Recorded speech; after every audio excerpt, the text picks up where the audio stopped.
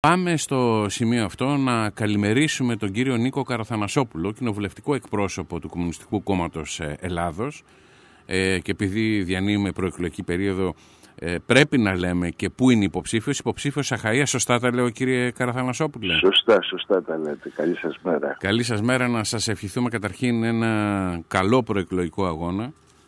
Σε, σε, σε πολιτικό κλίμα, με πολιτικό πολιτισμό. Καταρχήν να θέσω το στίχημα των εκλογών του ΚΚΕ, κύριε Καραθανασόπουλε. Παρακαλώ. Ποιο είναι το στίχημα των εκλογών για το Κομμουνιστικό Κόμμα Ελλάδος; Κοιτάξτε, εγώ θα το πω ναι. με μία πρόταση. Είδατε τις προηγούμενες μέρες Νέα, ε, Νέα Δημοκρατία, ΣΥΡΙΖΑ και ΠΑΣΟΚ τσακώνονταν για την πατρότητα των προγραμμάτων τους. Εντάξει. Ότι ένας αντέγραφε από τον άλλον. Άρα το στίχημα είναι να μην ψάχνουν τις διαφορές ανάμεσα στα προγράμματα που έχουν κοινό παρανομαστή, αλλά να κάνει με την ψήφο του τη διαφορά ο λαός ψηφίζοντας το κουκουέ, ενισχύοντας το ΚΚΕ. Άρα λοιπόν το στίχημα είναι να είναι όσο πιο ενισχυμένο και πιο ισχυρό το Κομμουνιστικό Κόμμα Ελλάδας, mm-hmm. ούτως ώστε την επόμενη μέρα ο λαός να μπορέσει να αντιμετωπίσει την αντιλαϊκή επίθεση που θα συνεχιστεί. Πάντως μιλήσαμε και για θέσεις εργασίας όμως. Ποιοτικές θέσεις εργασίας. Αυτό φαντάζομαι δεν είναι κάτι το οποίο βρίσκει αντίθετο το Κομμουνιστικό Κόμμα Ελλάδος. Χρειάζεται ανάπτυξη, να... χρειάζονται θέσεις εργασίας. Να φέρω, λοιπόν, να φέρω λοιπόν ένα παράδειγμα ναι. από την περιοχή εδώ της Αχαΐας, αλλά δεν είναι τοπικό παράδειγμα.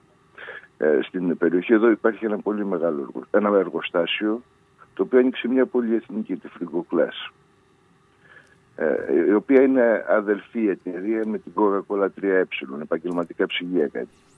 Στην περίοδο της ανάπτυξης έκλεισε, ναι, ναι. άλλο, έκλεισε το εργοστάσιο, το μοναδικό εργοστάσιο που έχει στην Ελλάδα και διατηρεί την παραγωγή της στο εργοστάσιο του εξωτερικού. Γιατί ακριβώς λέει το κόστος της παραγωγής είναι μη κερδοφόρο. Και κόστος παραγωγής είναι και οι θέσεις εργασίας και οι εργαζόμενοι. Από αυτή λοιπόν την άποψη καταλαβαίνετε πάρα πολύ καλά ότι ο εργαζόμενος δεν πρόκειται να δει καλές και ποιοτικές θέσεις από τη στιγμή που το κριτήριο της ανάπτυξης είναι η κοράκη τη ανταγωνιστικότητα και η κερδοφορία των καπιταλιστών. Αυτή, αυτή είναι η αιτία που τσακίζονται τα εργασιακά δικαιώματα, πέφτουν οι μισθοί των εργαζόμενων και ταυτόχρονα κτίνουν και τα εργοστάσια και χάνουν και θέσεις εργασίας. Άρα δηλαδή στη μέγενη της ανταγωνιστικότητας δεν πρόκειται οι θέσεις εργασίας ναι. να είναι καλές, σταθερές και καλά αμοιβόμενες. Και αυτό αποτέλεσε ναι. και προϋπόθεση το να τσακιστούν τα εργασιακά δικαιώματα την περίοδο της κρίσης και των μνημονίων με τους νόμους τους μνημονιακούς για να έρθει η καπιταλιστική ανάκαμψη. Σύγχρονη και δωρεάν υγεία, κύριε Καραθαμασόπουλε, διαβάζοντας και τις δηλώσεις του Γενικού Γραμματέου της Κεντρικής Επιτροπής του Κομμουνιστικού Κόμματος. Ναι, είναι, είναι ένα ακόμη κριτήριο της Βλέπουμε κιόλας που και... προτείνει το ΚΚΕ. Ναι. Βλέπουμε κιόλας και τι έγινε και εντάξει ευτυχώς ε, όσον αφορά την αναστολή των απεργιακών κινητοποιήσεων στα εργαστήρια και στα διαγωνιστικά κέντρα. Αυτό ήταν καλό. Ε... Μόνο που θα κληθούν οι, οι, οι ασφαλισμένοι να πληρώνουν το σύνολο ουσιαστικά της δαπάνης της Καλά, ε, ε τώρα έτσι όπως έγινε, επιτρέψτε μου κύριε Καραθανουσόπουλο, ναι, έτσι όπως έγινε και αυτό που είπανε, ε, ότι ισχύει η συμμετοχή μόνο το 15% τουλάχιστον ως επί του παρόντος, ε, μόνο ο ασφαλισμένος πληρώνει μόνο το 15%. Ανεξάρτητα λοιπόν όλων αυτών και πόσο θα πληρώσουν και τι θα υπάρξει στο μέλλον και με τους εκβιασμούς που θα γίνουν, ένα είναι το σίγουρο. Ότι το 90% των διαγνωστικών εξετάσεων γίνονται σε ιδιωτικά εξεταστικά κέντρα. Αυτό λοιπόν τι δείχνει, δείχνει μια εμπορευματοποίηση mm-hmm. της υγείας και μια στήριξη των επιχειρηματικών συμφερόντων. Είτε γίνεται άμεσα από τους ασφαλισμένους, είτε γίνεται έμεσα από το κράτος και τα ασφαλιστικά ταμεία. Και όσο αυτή η κατάσταση υπάρχει, καταλαβαίνετε πάρα πολύ καλά ότι θα υποβαθμίζεται όλο και περισσότερο η δημόσια ναι. και δωρεάν υγεία. Από αυτή λοιπόν την άποψη αυτό το 90% του ποσοστού που γίνονται στα ιδιωτικά ε, κέντρα είναι αποτέλεσμα και της πολιτικής των κυβερνήσεων του ΣΥΡΙΖΑ και της Νέας Δημοκρατίας και του ΠΑΣΟΚ. Και αυτή η πολιτική είναι που τσακίζει τις λαϊκές ανάγκες και στον τομέα της υγείας. Άρα λοιπόν ναι. βλέπετε ότι σε όλες τις πτυχές οι διαφορές είναι απειροελάχιστες μεταξύ των πολιτικών των κομμάτων αυτών.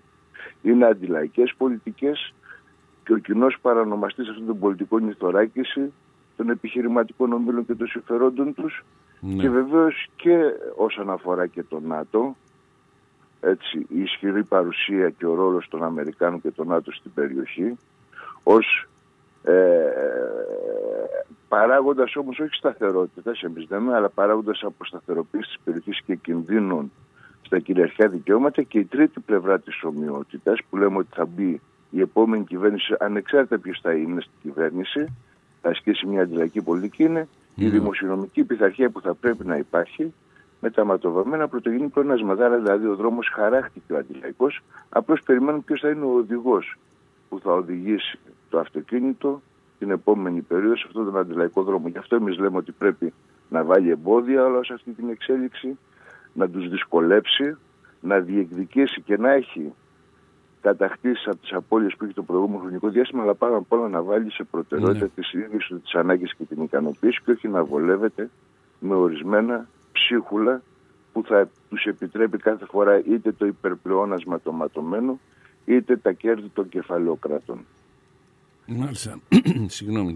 Ε, διαβάζω στο πρωτοσέλιδο της εφημερίδας των συντακτών Δημήτρης Κουτσούμπας, στα βρώμικα κόλπα του διεφθαρμένου Πασόκ, του αυρενισμού και του εσχρού αντικομονισμού δεν πιάνουν σήμερα. Ε, βαριές κουβέντες. Κοιτάξτε, γιατί ήταν ε, και η επίθεση η οποία δέχτηκε το ΚΚΕ από πρωτοκλασσάτα στελέχη του, του ΣΥΡΙΖΑ ε, σε αυτή τη λογική και σε αυτή την κατεύθυνση. Δηλαδή επαναλαμβάνοντας ε, ζητήματα που είχε αναδείξει το Πασόκ τις προηγούμενες δεκαετίες και ο αυριανισμός ότι το Κομμουνιστικό Κόμμα Ελλάδας με τις θέσεις και τη δράση του ευνοεί τη Νέα Δημοκρατία τη στιγμή που ο ΣΥΡΙΖΑ συνέχισε την πολιτική της Νέας Δημοκρατίας τη στιγμή που αποτέλεσε το καλύτερο πλυντήριο της Νέας Δημοκρατίας για να μπορέσει σήμερα να διεκδικεί την ε, κυβερνητική διαχείριση. Γι' αυτό αποτελεί πρόκληση, εμείς λέμε.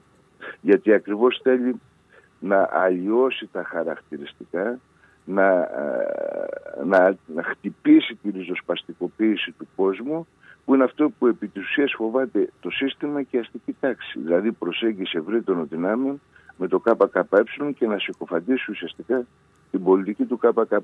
Άρα δηλαδή αποτελεί ένα χρήσιμο εργαλείο ο ΣΥΡΙΖΑ σε αυτή την κατεύθυνση της συκοφάντησης, της πύρωσης και της αμάβρωσης του ΚΚΕ και της ε, πορείας του. Και κλείνοντας, πού βάζει τον πύχη στις εκλογές το ΚΚΕ, κύριε Καραθαμασόπουλε.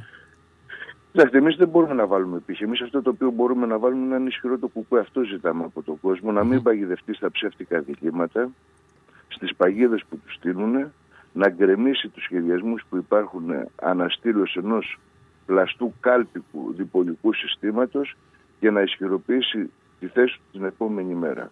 Και αυτό μπορεί να γίνει με το ΚΚΕ. Και αυτό ακριβώς η συμπόρευση σήμερα με το ΚΚΕ και στις κάλπες και αύριο στους αγώνες είναι πρωταρχικό θέμα ανεξάρτητα αν υπάρχουν επιμέρους παρατηρήσεις ή και επιφυλάξεις την πολιτική του ΚΚΕ. Γι' αυτό και καλούμε ευρύτερες λαϊκές δυνάμεις να συμπορευτούν σήμερα με το ΚΚΕ. Να σας ευχαριστήσουμε πολύ για την παρουσίαση στο πρακτορείο και, και να σας ευχηθούμε, όπως είπαμε και στην αρχή, ένα καλό προεκλογικό αγώνα και ένα όμορφο τρίμερο να περάσετε. Να είστε καλά, καλή σας μέρα.